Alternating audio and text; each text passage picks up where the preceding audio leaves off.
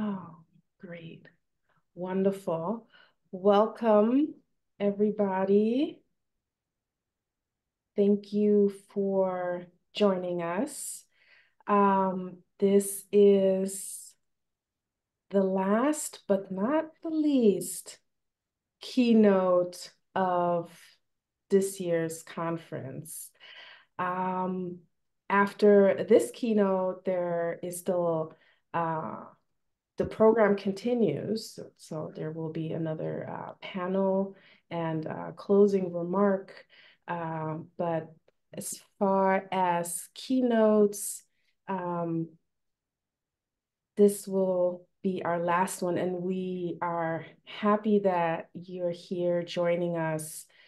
I want to give a special thank you to Rose um, for what Peggy Piesche in the first keynote called creating and holding uh, this Black space. So um, Rose, thank you so much for uh, the many years of kindness and nurturing that you have enriched all of our lives with. Uh, many, including me, specifically would not have had the platform we have today if it was not for your love and uh, your belief and your commitment. Uh, for many years, you've created this space where Black joy, despite pain, can flourish. Um, big thank you to the rest uh, of the BGHRA team for all the hard work that you've put into this year's conference um, your creativity and professionalism uh, really shines through every session. Um, it's truly an honor to be here today and have a chat with the amazing Jerry Hoffmann.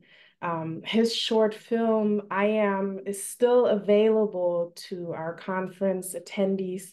And if you have not seen it yet, I promise you, you will want to. We will be discussing the short film in detail today, uh, so please take this as your spoiler alert. Uh, we will be going in. Uh, but first, let me introduce Jerry Hoffmann to you. Jerry Hoffmann is a writer, director, and actor with German and Ghanaian roots. His various short films were hugely acclaimed and screened at numerous international film festivals. I Am won the HBO Max Best Short Film Award at the Martha Vineyards African American Film Festival. It was a finalist at the 2021 Student Academy Awards and illustrates Jerry's artistic flair for bold and immersive storytelling and his commitment to amplifying Black talent and perspectives. A member of the German Film Academy, Jerry is a fierce and vocal advocate for greater representation on and off screen. He has used his platform to address the lack of diversity in European film and TV.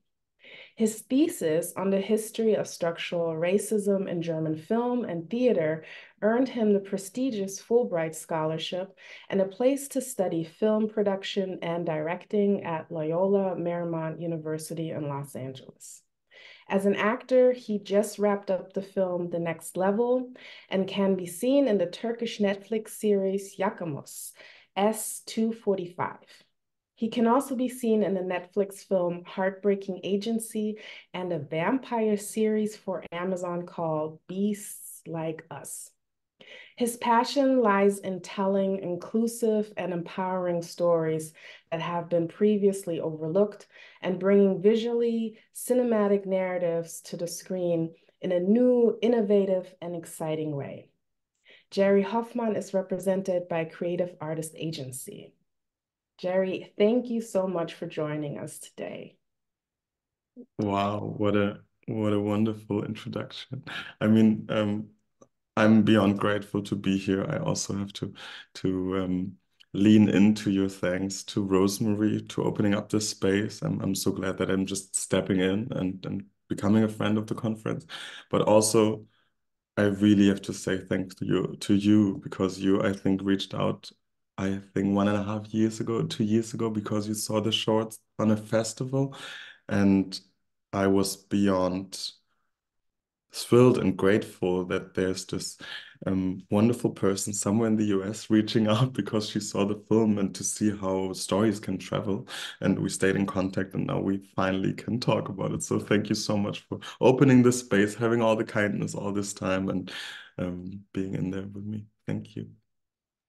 Yeah, um, this this film really uh, blew my mind and um, it continues to do so.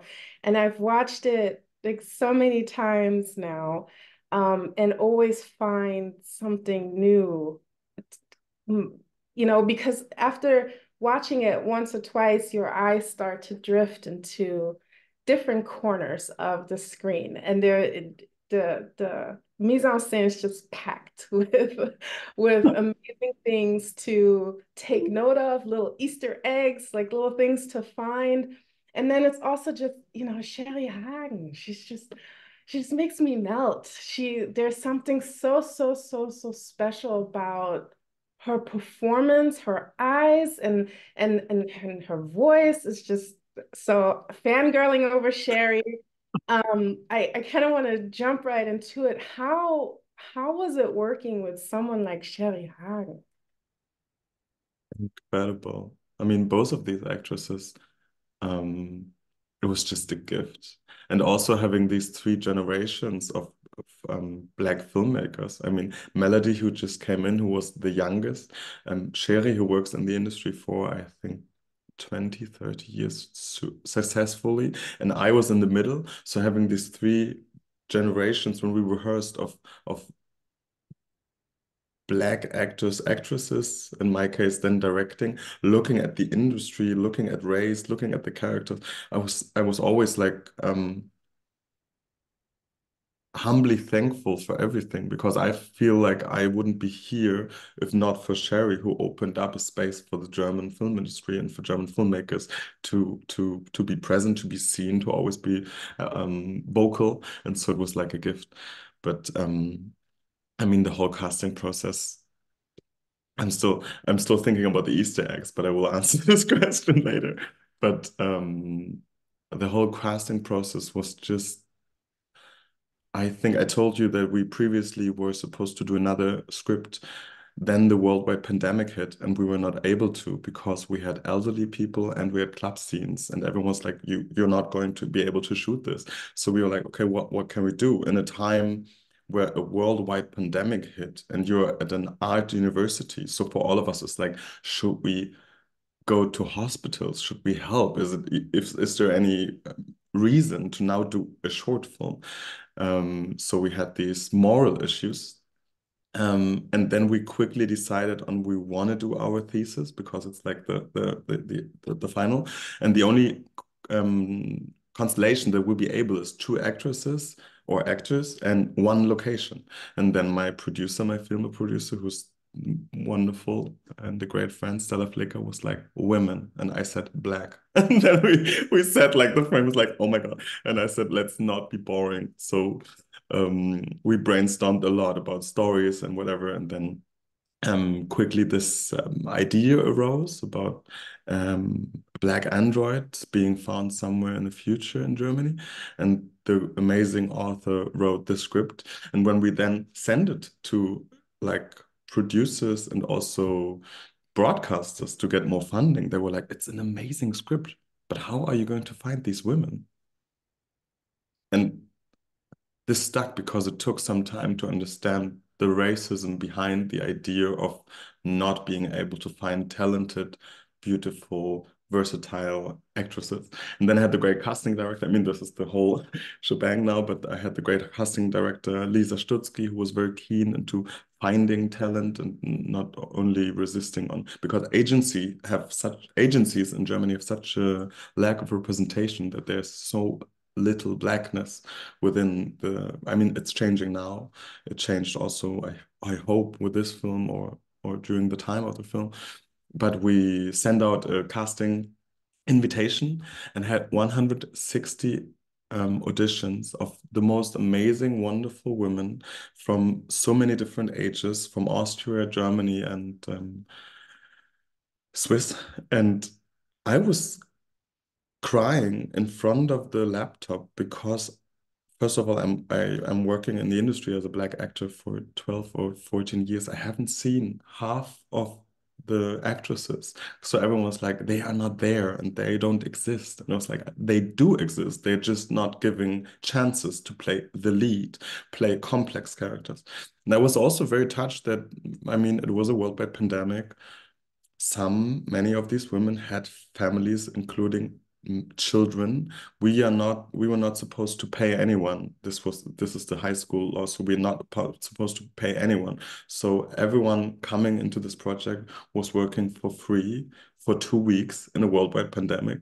And like in these casting auditions you felt such an urge to be part of this project which had to do with the lack of complex characters the lack of complex science fiction genre characters. So that was the whole um, story, and then we had the most amazing casting, and even even in the live casting. I mean, at that times we were supposed to.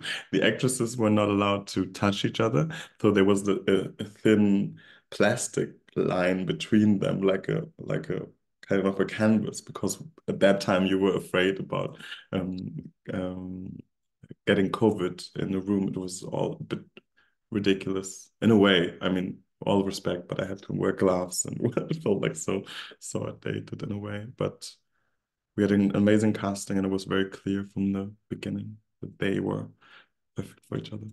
Yes. That's a long answer to the one question how it, how we came to Sheri Hagen, but we were so glad to have her.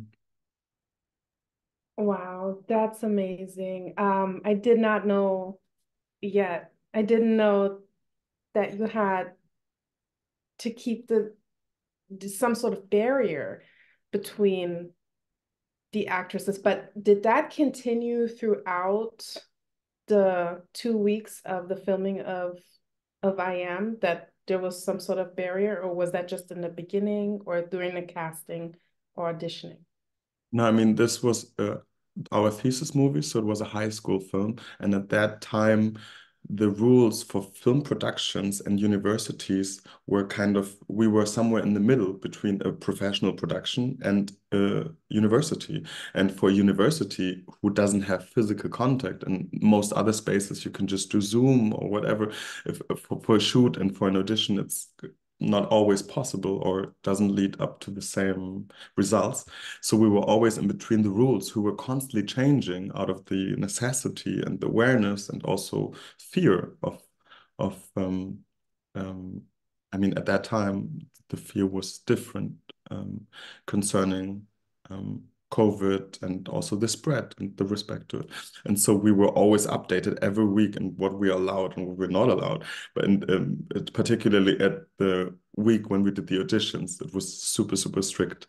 And so of course, everyone had to get tested, which is super reasonable, and also that you have some distance, but it's hard to play and interact with each other in a room if you have like the, the line. For the shoot, we decided on a, I mean, we had to do um, hygienic and healthcare concept that, was that was part of the time. So you have to have concept, you have to have one person who was the only person who allowed to be paid um, to as part of the project and then see how to, how, how this is um, uh, resolved and also checks in.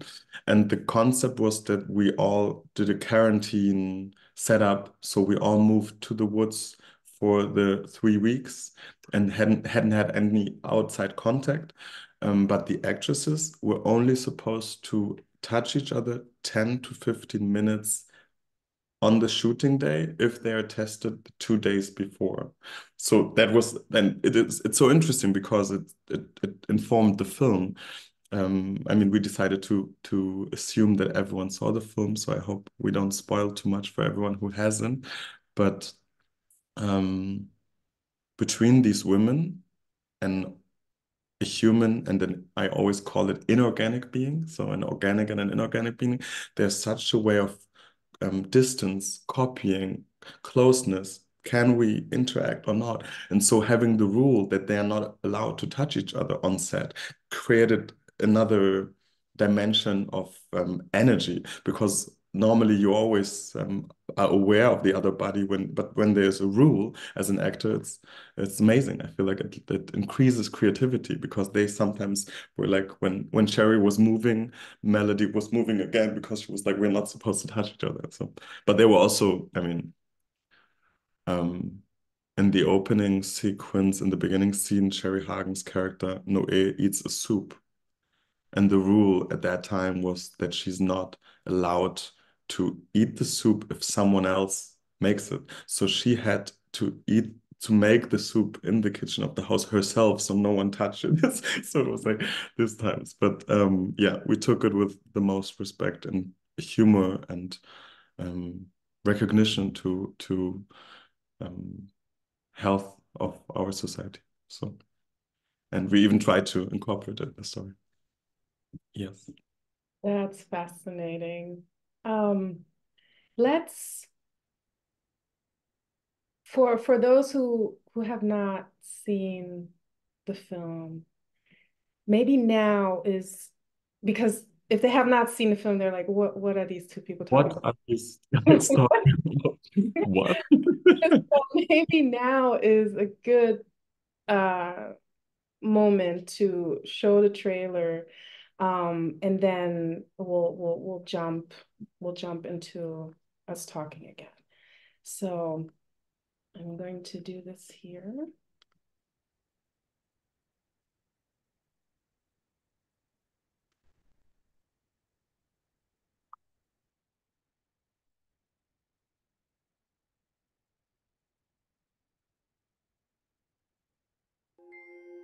Träumst du nachts? Wer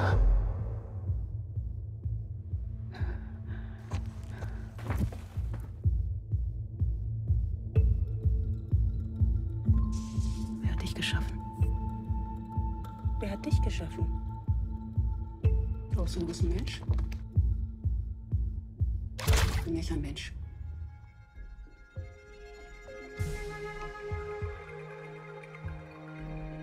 Ich hab dich gern.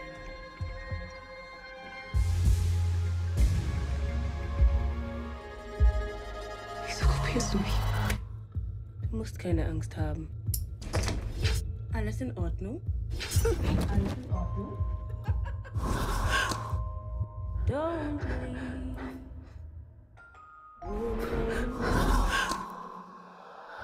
Ich will träumen können.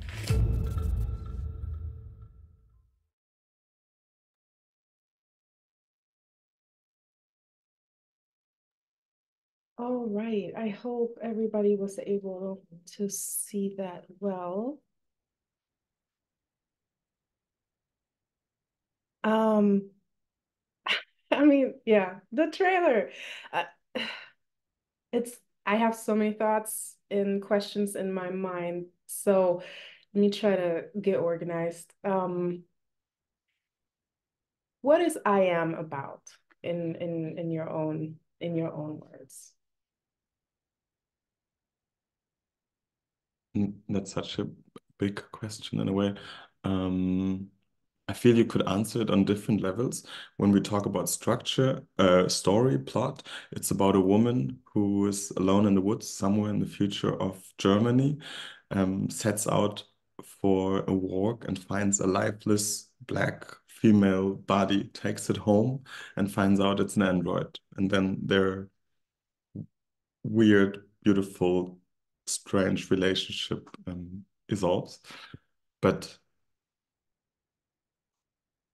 to me personally, and I felt the beauty of this film is that everyone in the in the heads of department, the author, the producer, the DP, everyone kind of found their own answers also what the film is about because it has it's it's there's something between this different plot lines be between there's something in between. To me it was always about worth. I am meaning i am means i belong i'm worthy i i exist.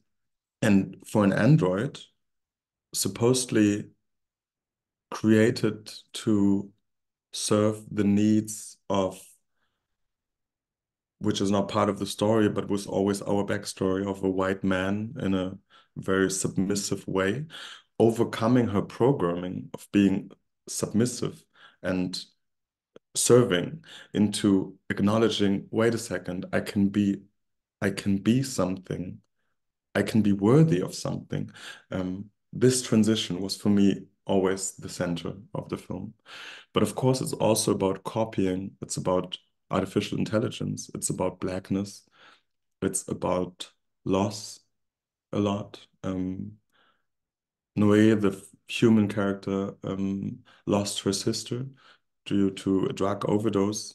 And so having another being coming into that space while she's still mourning. So this was also part of it. So I feel there's a lot of copying. But if I have to narrow it down, it's worth, self-worth, and uh, yeah, empathy. the the theme of of worth is um, really I agree with you really central like throughout the film. And um, is is questioned um, or becomes a question too of of who who whose worth um, is who is worth more. Uh, there there there is a point in towards the end of the film where um, Ayla, our android, or or how did you inorganic being? What did you organic say? being. So she's the organic being. She's the inorganic being, Inorganic and being. yes, Where she where she questions our organic beings' worth. Um, and the worth um, of Black women in and the questioning of that worth uh, in our society is um, it, it this question in the film mirrors this this question that we have in our society as well. And um, the the worth of Black women in the film industry um, as well. You you you make a obviously you make a conscious decision to to pick these two actors actresses and they have such they have such great chemistry as well so I, i'd like to know you know, um, what, well, I'd like to know so much, but I'd like to know what made, what made you choose these two from the 160 um, actresses that, that, that, that, that came knocking um, and answered your call. Um, why, why these two? uh, and they have such great chemistry. Did you how how did you instruct them um, to, in addition to the COVID uh, protocol that you had to follow, how did you instruct them to interact with one another? With one another. So why Melody? Why Sheri? And how much instruction did you have to give them to to yeah to be with one another I mean, the process was more intense at the end. We had 160 audition tapes from the people that we already um, invited. But so we saw so many more other actresses and actresses. We looked at theaters, we looked at um, agencies, of course, model agencies. Sometimes we were like, I, I was always open to have also people who are in Germany, we call it Laien, who are first time actors who have not this much experience because I feel very confident in helping someone um, through their journey because I come from acting. So it's like it's totally fine to have someone who has no experience. I want the best actresses and actors. And so when we had the 160 audition tapes, it was, I mean, there were so many great auditions. And as casting it's always a process and I take it very seriously. Everyone is very different on that. But to me, casting is, I feel like 60%, especially in a film where you only have two beings. It's all about their chemistry. It's all about how they translate what is in the screen, uh, what is in the script from through the screen to the audience. So it's so important to find the right ones, and we took it quite um, serious. I just remember, I mean, Melody's audition tape was just marvelous. She, I haven't seen her yet. Now she's a, also after that she was nominated for um, for the First Steps Award and is now doing a lot of wonderful, great projects also internationally. But at that time, I, I didn't know her, and um, so I saw her for the first time, and she her slang was very much like. Um, it was so cool. She was like, "Hi, Melody, what's up?" And so you're like, "Is she able to pull it off as an android?" So yeah, yeah, okay, I will try it. I don't know. I don't know if I spilled it hi, how are you doing? And suddenly she just transformed completely already there, there and then. And so it was like, oh my God. Um, we had quite some others, but that was like really, really intense and great and something that you cannot um, give. Um, but of course, at the end, it's chemistry. So we only also, due to the respect of um, COVID, we limited down to the smallest amount. And I think we had six actresses three for the role of Ela and three for the role of Noé that we tried in different constellations, but not all constellations. I mean, it's also like mm, also the constellation has to work. And um, when we came to Ela, there was always this idea this android could have worked in different attitudes, tempers, and ages also. If you make this android if you cast it super young i mean melody was more on the younger side but there were also even younger uh, um, characters. And the other character is supposed to be older. It creates more of the mother daughter relationship. The closer they get it's more a sisterhood or two women sharing a friendship or whatever. So it was also about their what they project as an energy how much they Oh, oh, yeah, what it is. And then there was like, I mean, the audition between the two was just it was spark, and as you said, you, we call it all uh, we call it um, chemistry, but it's the it was vibrant and chemical and something that you. This is why I'm so so so keen about live auditions. There's something that you cannot make up your mind with. So it was, yeah, great, and incredible. And then, which is also rare, especially for student productions, I'm very keen on rehearsals, which is not always easy to bring into it. It costs money to have like a rehearsal space, to bring in the actresses, to set the time. So I think we had a week of rehearsals which to me was very important, especially for the portrayal of the android. So many people were like, "Oh my God, you have an android, and it's a science fiction story, but how, how are you going to to do it? How are you going to show it's an Android? And I was always a keen acting. You can do it with acting.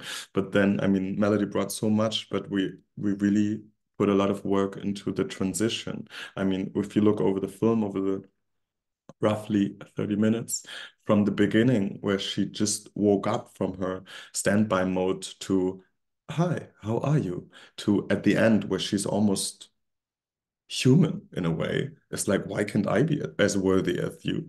And also brings in some some um, attitude where you could question if this is something she copied from the human she saw, or is this her real identity? But there's like a, a, transition, and we pulled it down into I think five different stages of how much is she, and also how much do you want to do it in R2D2 in Star Wars? It's like, hello, how are you? It's like it, it could be easily something that brings brings you out of the story, but on the other hand, you want to really believe that this is a machine, and so this is uh, this is how the process was and it was a lot, of, lot, lot of fun to go into also physical work and and how how how do you portray it? What is it? What how does it feel to have um to have metal in your whole that you are inorganic? How how does it feel? Where is your voice constructed if there's a little i mean if, if it's not human? And so it was interesting and um I'm so grateful that Melody Melody threw herself in. So trustful, yeah. I hope this answers the question. Yeah, I there um it's it's very interesting to think of different constellations because they're the moments between these two women inorganic or organic uh, uh, at times quite tender um, and and also loving and then also there are moments uh, that are tense. Um, so I I couldn't decide really if um, if I saw this like budding relationship as a sisterhood or as a relationship between a mother and a daughter, or um, if it might not also be possible to read this in a queer way where especially at the end um, the dancing is quite romantic and quite sensual um, do you think one could also read this in, in a queer way? Absolutely. I mean, not only the relationship, but also the topics of um, worth being the other and not feeling seen are really queer topics. Um, I was always interested in having space and leaving it open. I mean, and is this a mother-daughter relationship? Is this a sister relationship? Is this um, um, um, is there a family dynamic, a friendship, or a love story? And I felt it's all of it because this this is the beauty of having a short where you don't have to answer all the questions. I'm not sure if I can will ever be able to have this um, this openness because only in a short film it's it's okay to leave out so many answers and still be hooked in a way. But um, I think it's all of it. Um, really.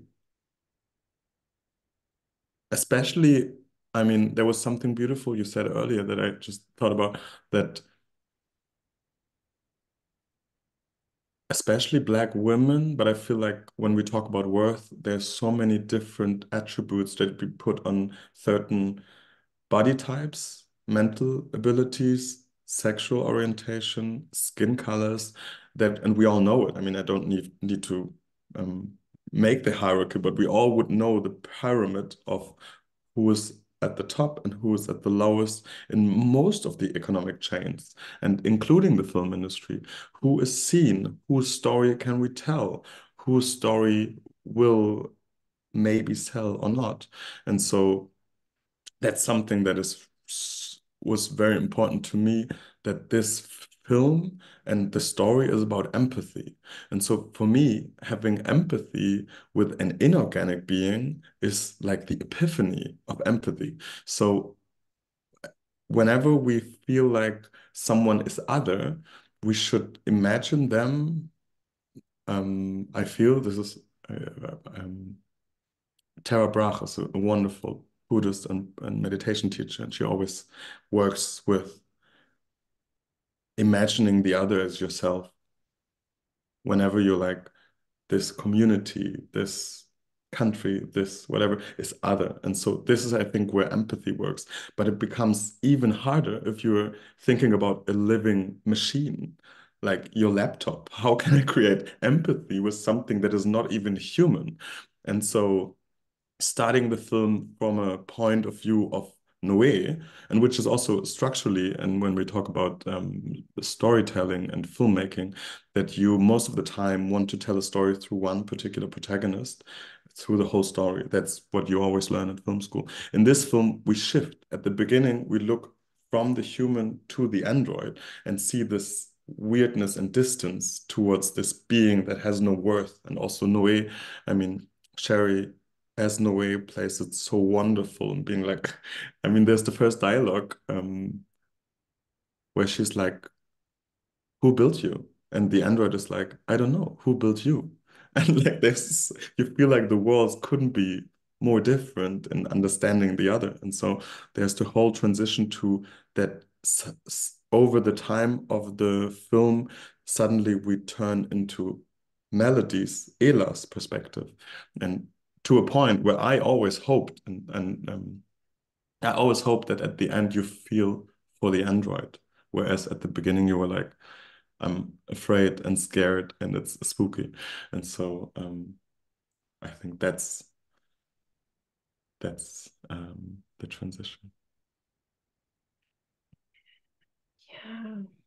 Ah, yeah, and you talked about the dance scene. That's to me, that's kind of the turning point in the whole story of these two beings feeling so distant and being um, even afraid of the other that suddenly through dancing in this moment where the android learns to move as a human and um, it changes and the story changes and also the perspective. Yeah. Yes yes. The so the first dance scene the slightly awkward dancers both both dancers in uh in that scene um are slightly um awkward. And and perhaps that you know um corresponds to uh how they feel around each other um still. When then the last dance scene uh, at the very end, which part of the trailer also portrayed in, in the beautiful white gowns, um, shows their movements are not at all awkward anymore. They're they're very they're they're very smooth and elegant.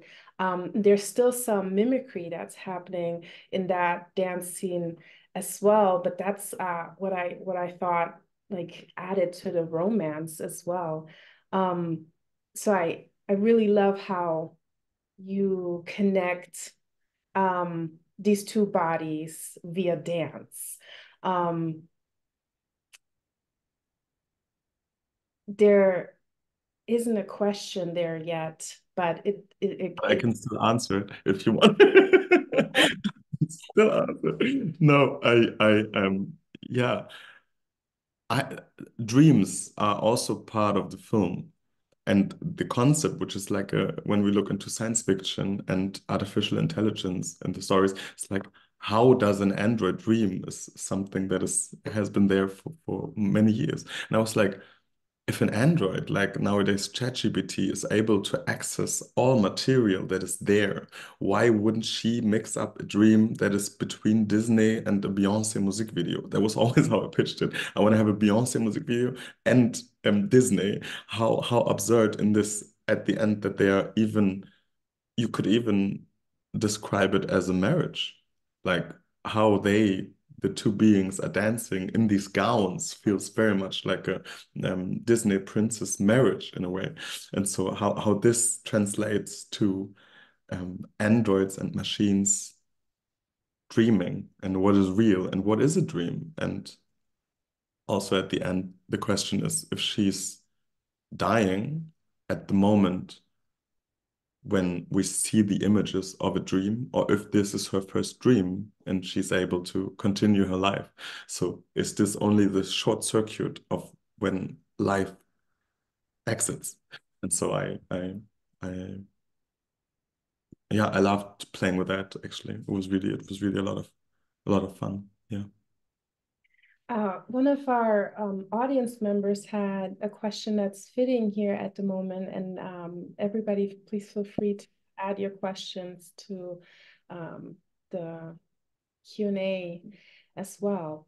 Um, Madeline uh, asked if, um, well, she says that, um, I'm curious as to why science fiction was the genre you chose to tell the story through what affordances you think this genre gave you, and whether you were at all inspired by frameworks of Afro Afrofuturism and or cyborg feminism. Thank you and keep up the great work. Oh, wow. Thank you. Thank you, Madeline. That's a wonderful question. Um, first of all, I'm a science fiction geek.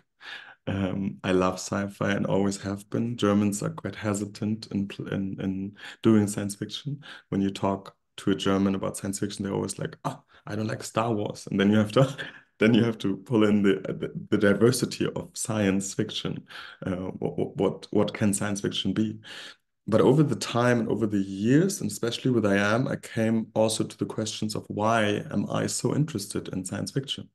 Which also concludes to Afrofuturism. Of course, this was part of the research visually, but also culturally. I love Janelle Monáe, and I mean, she's so keen in doing her music videos in an Afrofuturistic style. And I came to to the idea, and now we're framing it into pain and joy, as this is the, the conference title, to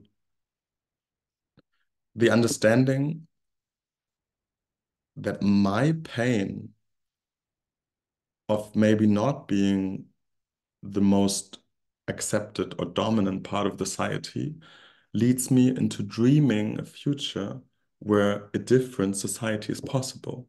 And as a storyteller, I love the idea of telling a fairy tale or telling another story where I feel like people, you can, for me, I, my mission is to not repeat the same images that we've that were problematic, misogynistic, racist for hundreds of years. So I was like in the realm of sci-fi and especially android storytelling, it's mostly male leads, mostly white leads, mostly straight leads that have an issue with their hmm, not even masculinity that that have an issue and that's that's the story. So having creating a future where they are just two black women felt for, to me the most political and activistic in a way uh, because if i would have said the story and this is leaning back to the wonderful question of Madeline of why did i choose it? I mean i i didn't choose we didn't have a story and then i chose to do it in science fiction. I was interested in science fiction and we we brought it together to the idea but of course science fiction always gives you the possibility of making people not reject the story. If we would have set the story here and now, I think there would be a lot of people who are like, but this is not my world. Only two black women. This is not what I like. It's Tatort or German, whatever. It's like, but where is the like? Where is the white people? So going into the future makes people um, gives people the possibility to accept the story first of all, and then being like, oh, why? Could this be a reality? And why is it not a reality? And what does it do to me? Does it do I am I afraid? I mean, I had so many audience members who I'm so glad that they did share it, but people said that they were kind of mm, one woman said when she saw the film, her first initial thought what was, what are these women doing in my forest? Which is maybe problematic or sad, but I was so thankful for the openness of the sharing because I felt like this is why I made this short to create images that we haven't seen. And the German forest with only two black women somewhere in the future is something I have never seen. And so, of course, this creates sometimes hope for, for us or for, for maybe some people in this um, panel talk. For me it creates hope but for some people it also creates discomfort and the discomfort is also important because it informs you about what kind of images you're used to. So that's kind of, kind of the i hope this answered um, your question. Was there a second part to it? I i, I forgot. I'm sorry.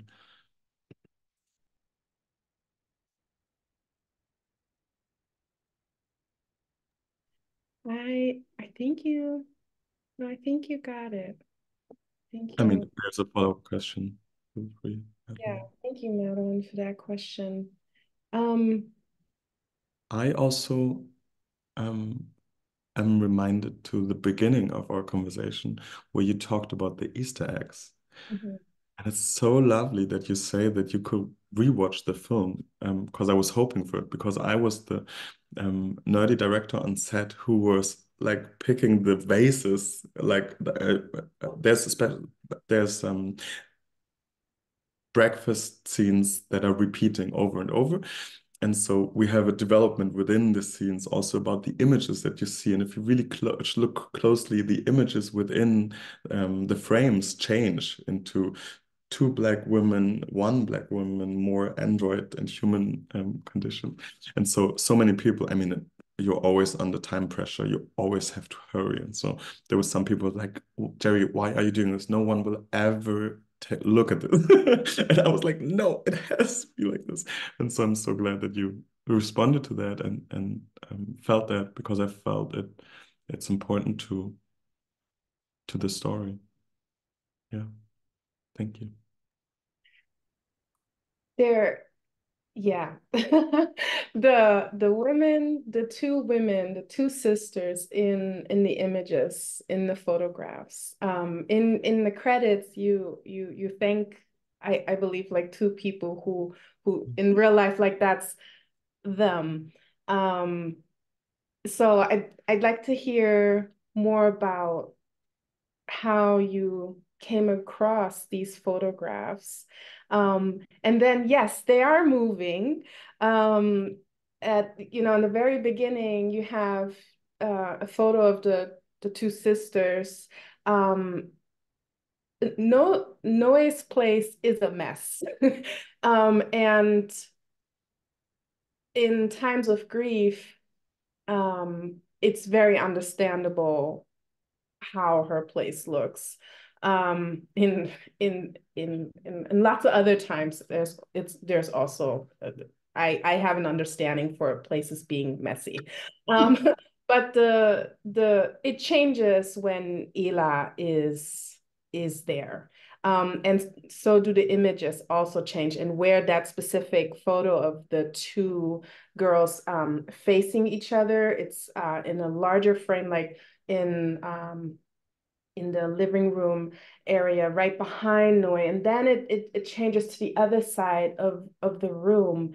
Um, and, and I was wondering who is changing? Um, who is changing the images? Is it is it Ela because she's starting to take the role of the sister? Is it I, I, I just couldn't imagine it being Noe. And then I also felt like the house itself, like there's still remnants of um, Noe's sister um, who is passed on. It, I at one point I was thinking, is she perhaps a ghost, and does she appear at one point? And, and you know, the, the, her presence is is is very felt. And is it perhaps she who uh, changes the images up? Um, but how did you how did you come across these these two women in in in those images. Because there's also a photo album that that we see. I think it's also them. I'm not sure because there's different ages of, of of these sisters being represented. How how did you come across like this part of the set design? I mean all of the interpretations that you just um, mentioned are kind of valid and i consciously left them open in a way because i felt like there's some form of strength into not answering the questions in a way. Um, i always imagined that of course there's always two storylines. It's two beings an inorganic and an organic and both of them have their different concept on perception and consciousness. So when we look at Ela there might be the possibility in her transition because it's part of the story that she wants to clean up and wants to be helpful and that she is was um, programmed to be um, a household person which also lingers to ideas of slavery and um, butlerism. So being like, um, I'm cleaning, I'm organizing, I'm reorganizing, but to a point where it's like overstepping boundaries. If someone's in grief and someone is also, the house is also a sanctuary. Sometimes you don't want to have things changing that reminds you to the person that you just lost. And if someone's then, I just cleaned, it also have some, it has some form of aggression um, into it, which I think was interesting always to the android character. How much do we like her or how much do we dislike her? Are we afraid of her or is she trustworthy and only wants good for us? When we look into the human perspective of Noe, she is first of all in grief, but also there's forms of, I would say, paranoia and mixed realities. So for her, dreams, visions, and reality mix um, throughout the film. So there's also parts of is she just is she just dreaming the changes? Was it cleaner than she expected it or different? And so I think both is um, both um, both possibilities are there, and I think it's important to to leave it leave it like that. When it comes to the images, um, it's the classical pre-production we were casting these young actresses um, which is kind of hard because you have to have the location already. We was wanted to do photos within the location. And so it was like only a short frame that we had these um, uh, great um, girls that were then coming in as the sisters. And so we had a little photo shoot with them and then had to uh, print the photos obviously to put it then right at the shooting day when uh, the android is finding it. But of course, it's about, I mean, probably I always imagined that Noe is the first black person and the first woman that Ela sees. So for her, it's the absolute idol throughout the whole film and copying. It's like, I want to be like you. This informs her. And I feel this is something that is so true to sisterhood, where you always, it's always about are we the same or not? I want to be like you. No, I don't want to be like you. This is my skirt. Give me the skirt. So like having the the ideas of um copying, which is also like understanding your own identity by looking at someone who is close to you. And the other thing is, of course, as we said, mother-daughter relationship in in in the concept of um, um, rebellion and I feel a lot of children have the feeling that they never want to be like the parents. it's like, I love my parents. I mean, this is great and this is great. This is bad. I would do things differently. But then over the lifetime, some might expect, uh, like realize it's like, oh my God, I'm such like my mom or I'm such like my dad. And I feel this is also part of the story. There's something about rebellion. And I thought it's important to have the visual representation of the younger sister as a reality because it's it was always a um, it was a huge process of how much do we give space for the third character that is not visible, which is Leia.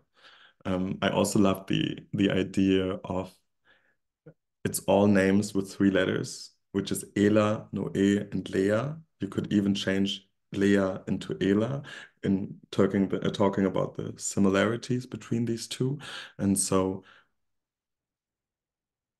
somehow Noe loses maybe the most important person in her life, her sister, but also immediately gains another being that could be her sister and and processes grief through this new being that surprisingly is also um, a similar age, black and female, and so um, yeah, that that's kind of part of it.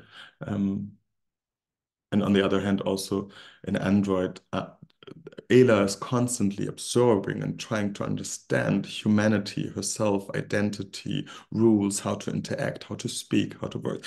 Seeing these girls like a past is also informing her in her process of what she'll never be. She'll never have a past with a different.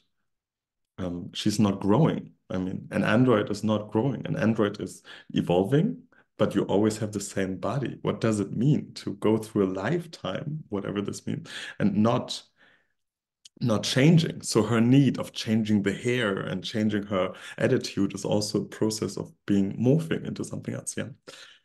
Yes, that's it. And also, on the other hand, I like the idea and the concept and the question, did this happen to Ela many times or is it the first time?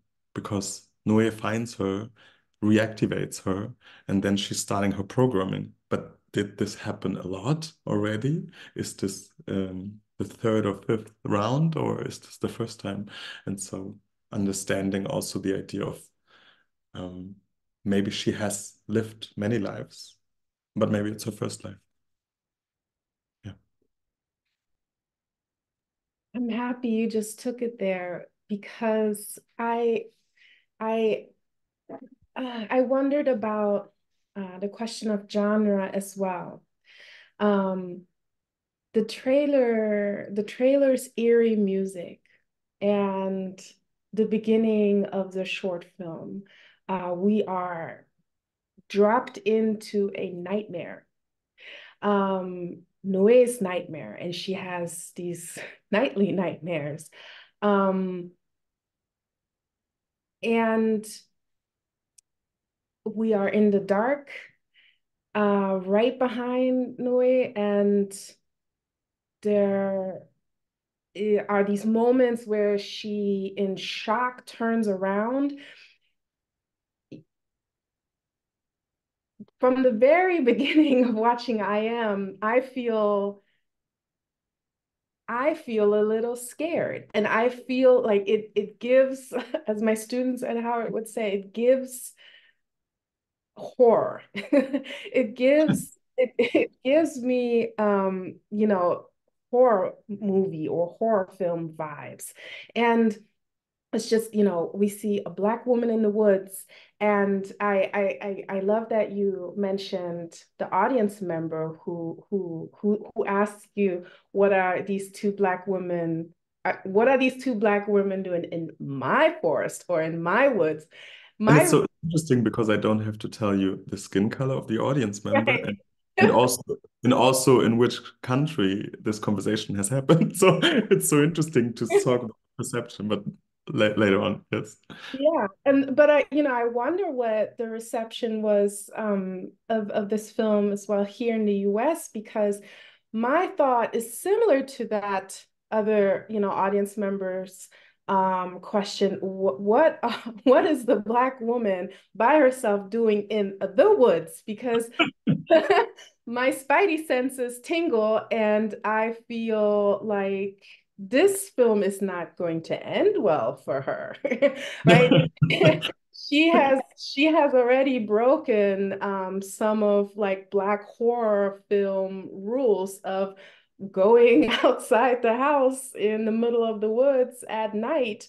Um, and you know my question was where is the monster where is uh, the white serial killer is who I mean with monster. where is the white Klan member? Where is the white witch that lives in a candy house, luring children into her house? Where where is the white woman walking her dog who's will be fearful at the sight of a black woman in her woods? You know, and then the film ends with moments of violence and it does not go well for no Noe. And we we we see we see her we see her being shot. Um you know and it made me it made me wonder after and while I you know continue to watch this film should she have trusted Ela should she have taken her in to begin with, because there are moments where I feel empathy for Ela, but then I'm reminded that who made Ela and who designed Ela, um, you know, in this particular image, um, how she's dressed, her hair, um, she she seems to appease a white western standard of beauty with her physique the blue eyes. Um, she she ran away from so she says from being in in servitude. And we can read into that also you know um, some you know sexual enslavement there. She ran away but who's coming to look for her is then again I, at least so so you know the credits tell us tell us this a man and the the actor is being played by a white man as well who's willing to kill for her or her that's not quite clear but all in all Noe is in danger. Um she's being surveilled because of Ela and at the end, she's being shot because of Ela. So I don't, I'm, I'm grappling with the empathy that I have for Ela and this question whether or not she has been through this and Noe is just like in this sick cat and mouse game of finding her in the woods and taking her home. So this was a long roundabout of, of, of... It was it was great. I mean, it's, it's so many thoughts. I cannot um, probably respond to all of them. But I'm not sure at the end if Noé is more horrible than the android. And I think this is what we're touching on. Um, actually, the dream sequence and the nightmare came in later in the edit, actually. It was not supposed to start with the nightmare, but then we felt like after trying and choosing a lot of things that it helps you to um, immediately pull you into the state of mind of Noé. Because when the story starts she already has a loss she already starts having the nightmare. So having the idea also of if something that she when she finds the android is this imagination paranoia or is this happening in real? So this came in. But also it brings you to I feel connecting to her because you immediately are in her state of mind. And so at the beginning, you are the human woman and finding something strange where we're like, oh my God, run away and this android will kill you or not or whatever. So to the end of when Ela says, can't I be as worthy as you? Meaning, isn't the human woman more cruel than the android?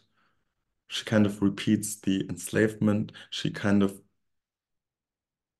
says that she's also responsible for the death of her sister. It's um, in a way not um, fully phrased, but you can assume that she's also dealing with so much guilt in a way, which is very human. Um, do androids deal with guilt? If they don't, are they better than we are? Can someone who is not good create something that is good. I mean, are humans even able to create androids that are good? And so it's all about um, our responsibility nowadays also when this is not science fiction anymore. I mean, Tesla X created, we have androids, they are interacting with us. They're mostly white or silver, um, but we already have androids in the world and they are um, working for us, working with us. So how much responsibility at a certain point do we have for their emotions? Um, yeah. Um, that was the one thing. And there was something else you said. I mean, you say so many beautiful things. I mean, this film also has this this um, energy I feel in talking about it because there's so much different um, um, thoughts. But I will find it later probably. Thank you. Um, uh, Spencer asked um, about the idea of uh, it being a horror movie. Um, how much control do you have on the trailer? Uh, the picture is reflected for some as a horror movie. Is that what you wanted since there is so much more? Um, I, we always pitched it as a science fiction art house thriller with horror elements. That was like the the pitch phrase. Um, I feel horror is part of the story, but not only horror also has different dimension and i feel when we talk about um, blackness and neglect of human beings there's some horror that is I'm a huge fan of Jordan Peele, for example. Get Out, Us, um, No. He plays with the genre of horror um, in a in a in a wonderful way, but always puts black people in the center of the story, which was new before he did Get Out. I mean, it's for the horror genre, and it's the same for sci-fi. Um, so I think it it there's different forms of horror also really the physical violence violence of something having something in your house that threatens you but also the bigger violence of who who enslaves whom um I was very present when doing the trailer. I love trailer work. I, I hope I can continue to do this all my life. Um, um, sometimes in bigger productions, the director is not as involved anymore in, in trailer work, and I, I love trailers. I don't know if it, I mean, I see it as a valid idea. For me, the trailer wasn't pulling only the horror into it. I wanted to, I think a good trailer to me is always showing what I will see, bringing you into the story but not telling everything. Um, I also I always stop trailers after 20 seconds. I cannot watch more than half a trailer because I feel like especially in the American trailers everything gets spoiled after. And um, also with this I we spoil quite a lot. Uh, but then again it's a short film so you you have to have uh, used material. But it was not the intention to make it a horror trailer or to give a feeling for a film that is different than the film that you're going to see. Um, if this answers the question. But it was also important. I mean, the, that's the, the wonderful photographer, Clemens Pourikis, who came um, on set and did this marvelous work. It was so emotional, important for us to have these faces on the poster and kind of almost only the faces because I don't see black women in in leading roles in at least in Germany and so with the trailer I was I was actually quite scared when sharing it I remember like before putting the share button. I mean, no one has seen the film, they only see the trailer. And I was kind of scared and I was amazed by how much love and appreciation, especially from, I mean, from Germans, from the film uh, film industry, because I felt it's so different to anything that I have seen. And so I was expecting people to be more like, um, skeptical or critical and there was so much i felt there was so much appreciation for oh my god images that we haven't seen um, Germans often tend to recreate the images that they are seeing. So in Germany, if you do movies like, but um, is Gisela in Bayern understanding the story? And this is something that hasn't been there yet. Whereas in the US, I feel like, oh my God, we have the story. Let's have something new. so there's a different idea of what a new next story should be. And I feel like in Germany, we often repeat the same narratives through the same body, through the same story. And so I was a bit afraid that Germans might react to something that's so different to the images that we have seen more negative or critical, but it was only love and only appreciation and be like, I want to see this film and oh my God, and there's something new happening. And so I was so um, thankful for for that. And also, yeah. I'm, yeah, I'm glad you you you talked um, about the reception of the film. You you took this um, film also to uh, Martha's Vineyard, to the African American um, uh, film festival there.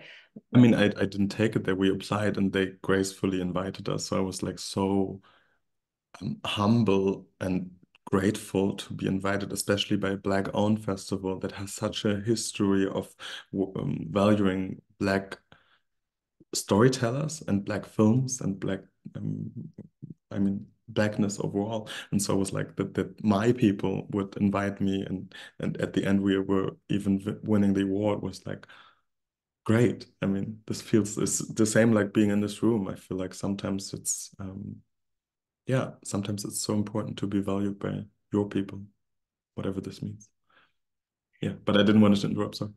No no i'm i'm i'm, I'm happy you did. I, i'm i'm just uh I, I how how were the conversations there? What was the reception? What was the reception like there? And congrats, you you won you won there. So what were what was some of the feedback you got? Do you remember? I mean, sadly, it was still the higher times of the pandemic. So we had so many festivals all over the globe, but we couldn't attend physically. So it's always a different feeling. Sometimes you were zooming within the audience and then you see like audience members uh, somewhere. Sometimes you are in a, a, panel or conversations for the film but it was mostly digital so we we couldn't um, go there and I, I i hope i can go there soon.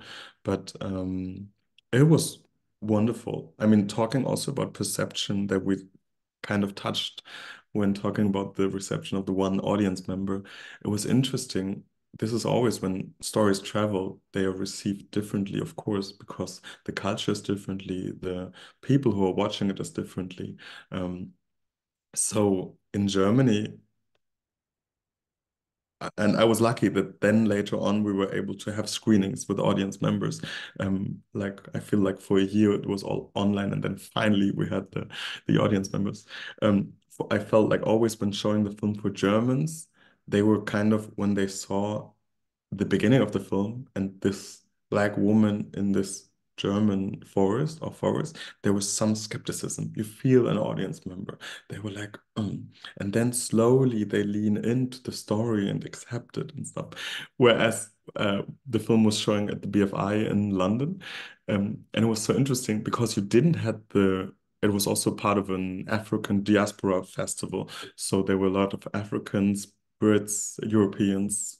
Most of them were black, but there was no skepticism for the first part of the film, but when they talked German, that was the first time I was like, huh? And you felt like in the audience they were so it's a different perception because they were like, of course, black people can be in forests, and that's a natural image that is nothing that I haven't seen yet. So it's interesting to to um, experience a film with different audience members and see what they react to. Where do they laugh? Where where they're not laughing? Um, you sense yeah this is why i think cinema is so important to be physical because you really um, create emotion within people somewhere. So i would um yeah. If there's any comments or any experiences anyone had with watching the film please feel free to share. I would love that because sometimes it's so digital. Yeah. Um there's a a question from the audience from an anonymous attendee. Thank you for this question.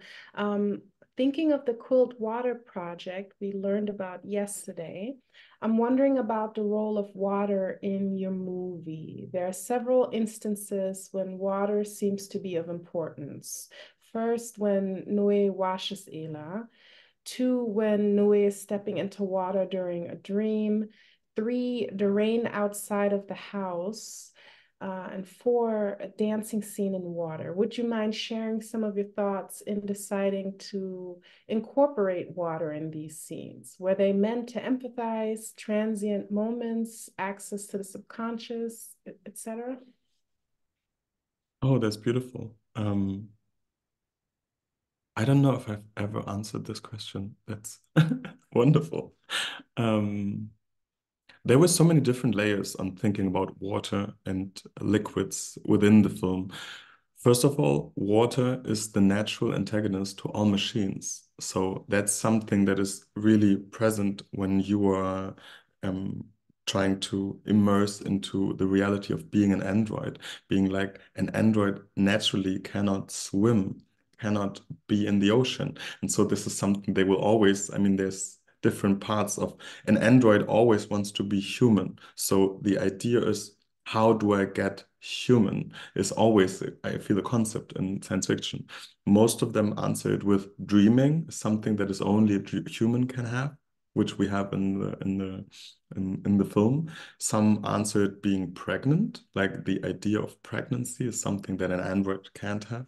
Um, uh, autonomy, obviously, but swimming is like the most, I feel, um, basic and raw idea of what differentiates us. So the concept of um, it's something strange and even afraid.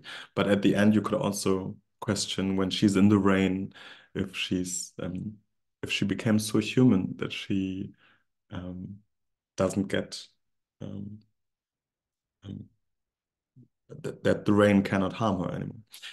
Um, on the other hand, water also stands for fear.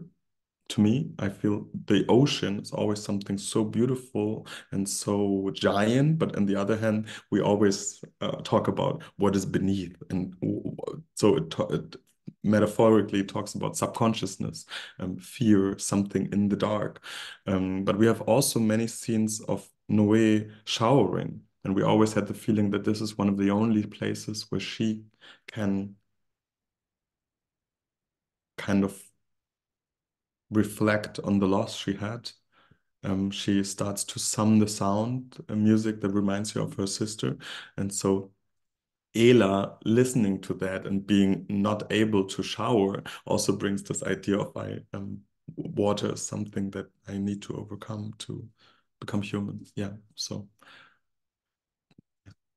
I hope this answered. Thank you. Um, I I'm happy you just mentioned the shower scene um, and the song. Um, because I think the first time we hear the song is in one of Noé's nightmares, um, where Ela is singing the song, and that's the that's the scene where she then steps into water.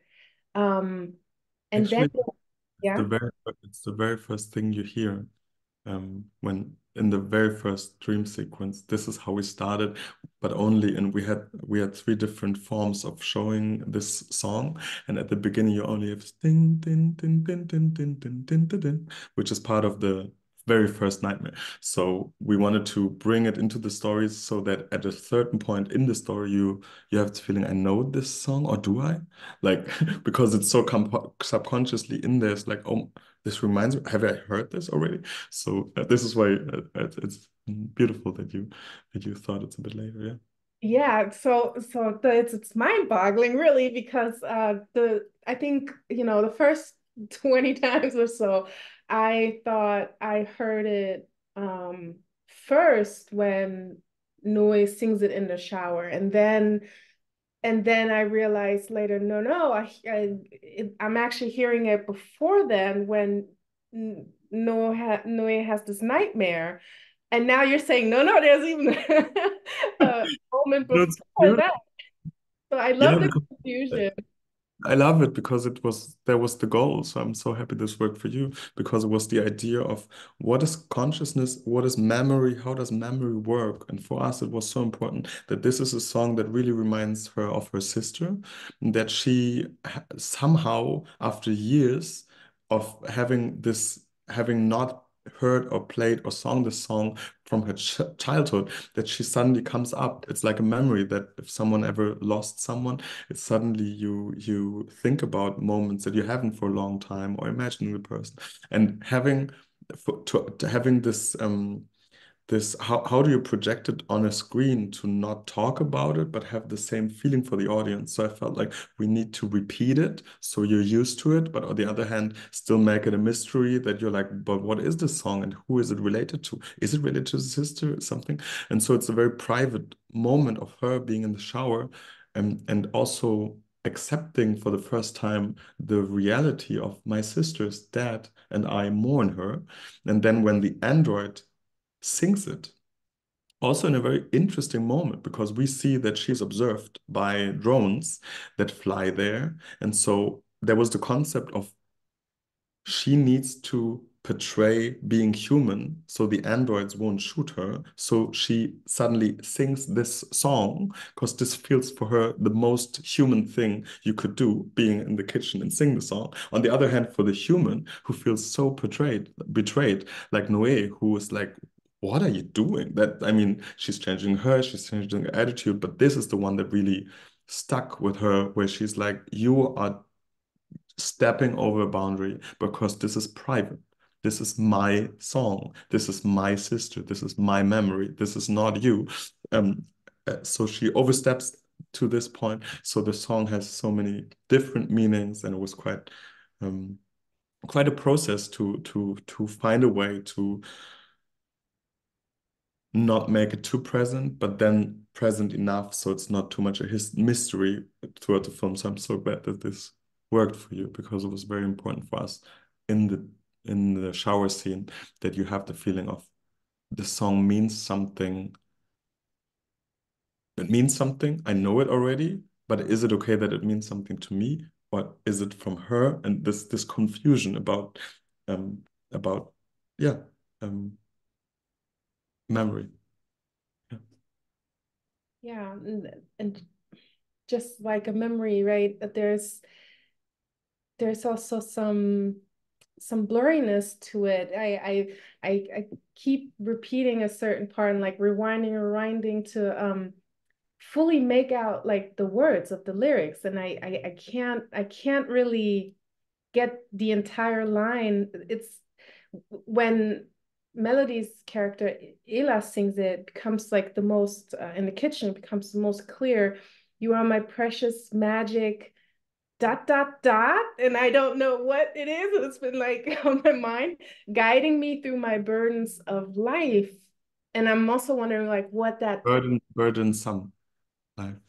yeah. And okay, putting that in my notes. And I love it that you even, I mean, that's um, beyond receptive of going through the lines and really knowing them. So amazing. You know, so I was just, I, I was wondering who, where is this song from? Like, how did you find this song? Where can I find this song? Uh, it, it sounds, it, it, it sounds really beautiful. How did, why, why this song? I mean, you mentioned music earlier also for the beginning of the uh, for the film there's uh, there was three artists that I was lucky to work with for three different uh, parts. Um, and Hans who did this particular song I also worked with him on a on another short film.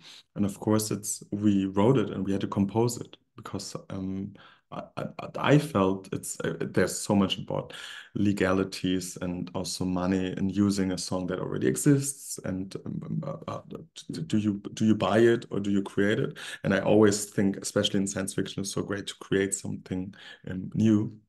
But so um, him and i we were um, going back and forth about the meaning of the song and how can we create it different layers to it. So I'm just I, I, I almost forgot how much work we put into it now. It's like, oh yeah, we really actually composed. Um, yeah, we were kind of uh, fighting in a very beautiful way about every word.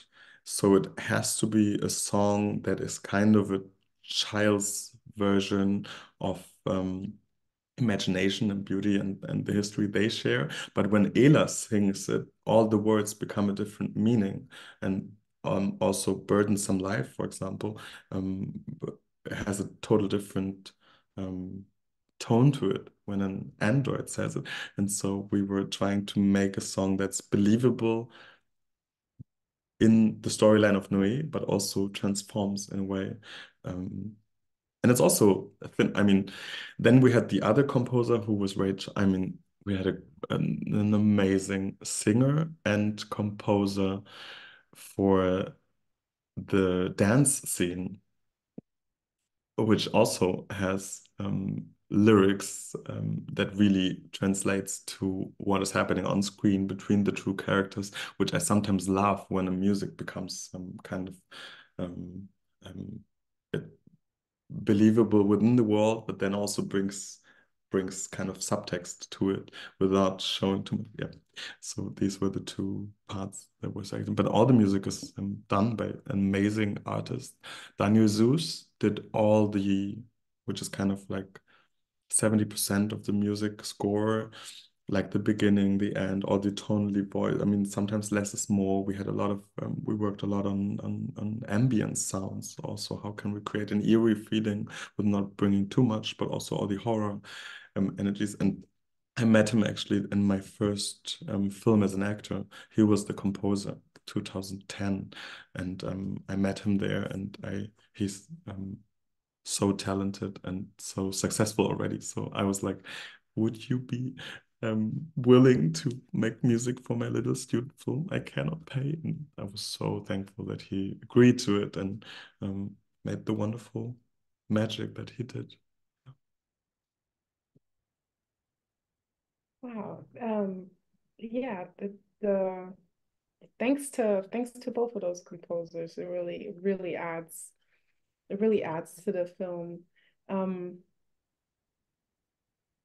yeah, now maybe maybe I can touch base with you about the lyrics too. I'd like to like to like look at those more and think yeah. about those scenes more. Um, there are moments where you you force the audience to view the women um, from the point of view of the perpetrator, of the violence that will come towards them. Uh, there, there the, there's a moment where we are outside of the house and the orb um, flying object uh, is recording um, Ela while she's in in the bathroom, and we see like the recording light is kind of flashing. Um, and then later on, when the man is outside of the house listening to their intimate conversation, uh, the camera is positioned right behind him, so we we see we see this figure, we see a, like long range rifle, right? Um, and again, like the audience has to take the seat of um, those who um, commit violence towards uh, Black women. And it just made me think of like, you know, especially in, in the context um, of when the film was created um, and in all these, you know, last, sheesh, like 10 years of um, watching um, white violence um, being recorded on film, it, it seemed so um, it seemed so familiar to to watch Black lives on a small screen being recorded and knowing that something bad is is is going to come their way, knowing that there is uh, a shooting coming, Black death is upon us. Um, what what are you what are you what are you saying about black lives in the future and this in this in this future and and violence that Black women um, experience in, in this in this not so distant, not so different future.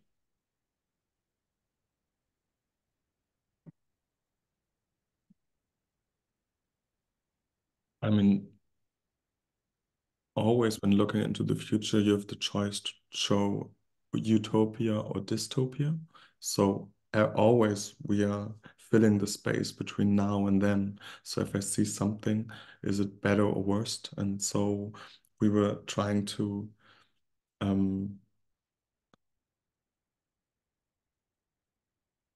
make question marks, but also um, present a world that has both. I feel solely having two black female beings in the future is so beautiful and i always ask like why why can a future why can't we imagine a future that is black and female? Because we imagine so many futures that are only white and male so why not? But on the other hand um, and this is something that i said it again and again that in a short film you have the possibility to not answer all the questions and it's always a thin line between giving enough to an audience that I don't feel I'm not following anymore. Um, so they, they, there is an actual story, and also, of course, we made so many um, concepts and had so many talks about the world. But how much do you answer in it? Um, and something I thought is beautiful to leave out, and what we came up with is a world that is so much about observation. I mean, there's flying drones everywhere. We don't know where the android is created, if it's okay to create androids in the world. Are there many? How did she flee? Um, so are they following her to bring her back or to diminish or distinguish her? Um, and so having the concept of the author always thought about that in the future there might be a possibility where we are now leaning into with capitalism that all the great companies like Google, Facebook, Meta all connect into an observation world, which we already see in China and some Asian countries, that the governments um, is observing humans and through artificial intelligence checking their gender, age, um, skin color, profession, and with this judging them. And so the concept of having having a, a future that is so much about observation and um, and also gives an eerie feeling of I'm always observed. I'm I, I think it suited the story. But there's a, an amazing documentary. I forgot the name. I think it's called Brainwashed um, because you always talked about the blackness of and uh, also the police brutality of black people, especially in the US, black men, but of course all, all genders being um, shot. But I think there's also something about the male gaze, which this documentary is amazing. It's called Brainwashed, um, having the concept of that for years and years and years we portray women and men differently. So we shoot a woman differently than a man because always most of the time there's a male director um, and a male DP shooting images for a thought male audience, and you can also apply this for for whiteness.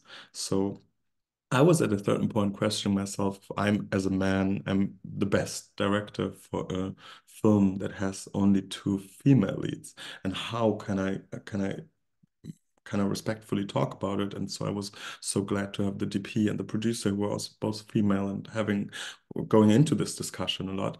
But I feel there's so much about who is portrayed, how, and who is having control and power over the framing. And this is something where I feel it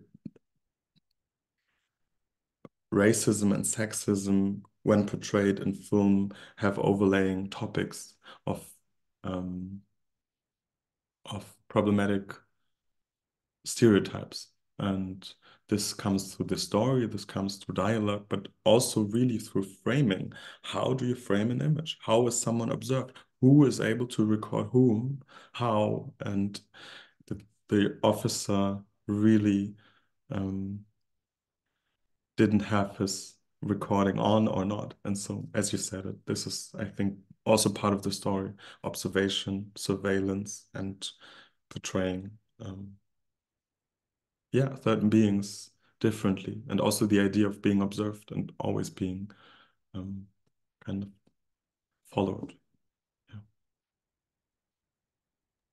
Thank you so much, Jerry. I really, really enjoyed this conversation. Uh, we are now at the end of our time, unfortunately, even though I could like have more questions for you. So um, I uh, want to thank uh, the BGHRA for allowing me to, to grill Jerry today and ask him all the questions. Thank you so, so, so much for having me and holding the space and um, watching I am um, more than one time and into it. I'm, I'm, i really enjoyed this conversation and I, um, I'm glad about this space. So thank you. Thank you.